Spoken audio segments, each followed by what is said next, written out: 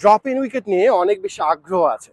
যে উইকেটটা দেখতে পাচ্ছেন অনুশীলনের জন্য, সেটা কিন্তু ড্রপ ইন উইকেট সেই ড্রপ ইন উইকেট নিয়ে যে আকর্ষণ আছে, আমরা যেটা বলছিলাম নাসাও ক্রিকেট গ্রাউন্ডের যে সেন্টার উইকেট রয়েছে, সেটা কিন্তু ড্রপ ইন উইকেট এরকম দশটা ড্রপ ইন উইকেট বানানো হয়েছিল কিন্তু অস্ট্রেলিয়ায়। তারপর সে উইকেট কিন্তু জাহাজে করে ফ্লোরিডায় আনা হয়েছিল। তারপর সেই উইকেটগুলো বিশটা ট্রাকে করে সে নিউ ইয়র্কে আনা হয়েছে। সেই দশটা উইকেটের মধ্যে চারটা সেন্টার উইকেটে বসানো হয়েছে।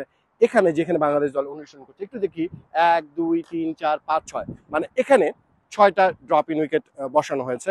আমরা দেখতে পাচ্ছি ড্রপ ইন উইকেটের আসলে পরিস্থিতিগুলো আপনারা দেখতে পাচ্ছেন। এবং একটা দাগ থাকে।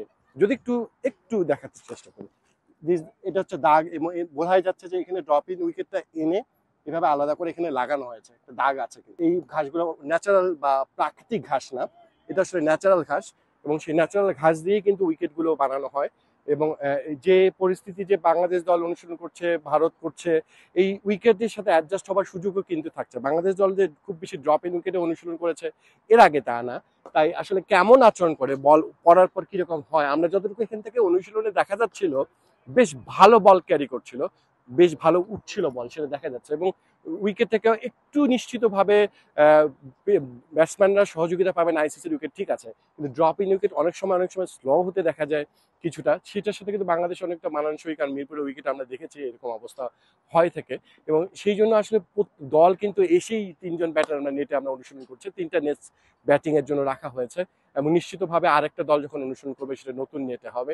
সেটা খুব স্বাভাবিক। তবে কাউন্টি ক্রিকেট গ্রাউন্ড থেকে কিন্তু নাসাও কাউন্টি গ্রাউন্ড যেটা আছে, তার থেকে কিন্তু এটা বেশ দূরত্বে অবস্থিত। অর্থাৎ ভিন্ন ভিন্ন দূরত্বে কিন্তু উইকেটগুলো বসানো হয়েছে। একটু দেখার চেষ্টা করি। কোনো একটা বল সরাসরি যদি দেখার চেষ্টা করি যেটাতে ডেলিভারি হচ্ছে ডেলিভারি পরার পর কেমন করে উইকেটে পড়ছে একটু একটু দেখার চেষ্টা করি। বল হাতে আমরা দেখতে পাচ্ছি যিনি বল থ্রো করছেন, ঋষাদ বল করছে রিশাদের বলটা একটু দেখি। একটু লো হয়েছে, একটু লো হয়েছে, একটু সামনেও বলটা পড়েছিল। সেই জন্য বল লো হবে সেটা খুব একটু নিচুর দিকে হয়ে যাচ্ছিল। তবে খুব ভালো ক্যারি করছে আমি যতটুকু মনে হয়েছে উইকেটে তবে বাংলাদেশ দলের ব্যাটারদের বললাম যে, এই যে অনুশীলন কিন্তু এর আগে যে ড্রপ উইকেটে বেশি করেছে তা না। যেহেতু অস্ট্রেলিয়া উইকেট তৈরি হয়েছে এবং একটু আগে যে বলটা আমরা দেখতে পেরেছিলাম সেটাও বেশ ভালোভাবে হাইটে এসছে। এবং লিটন দাস দারুণভাবে খেলেছেন স্ট্রোকটা যেটা হচ্ছে লিটন দাস, আমরা নেটে কয়েকজনকে অনুশীলন করতে দেখছি একসঙ্গে। যেটা বলছিলাম ওই ড্রপ ইন উইকেট যেটা আবারও একটু ক্লোজলি দেখানোর চেষ্টা করি। আমরাও একটু অন্যরকম রোমাঞ্চিত ছিলাম যে কেমন হয়। বাইরের যে ট্রাফ এটি কিন্তু টার্ফ টার্ফের মাঝখানে ড্রপ ইন উইকেট বসানো হয়েছে যে ঘাসটা আপনারা দেখতে পাচ্ছেন বাইরে, সেটা কিন্তু টার্ফ ঘাস।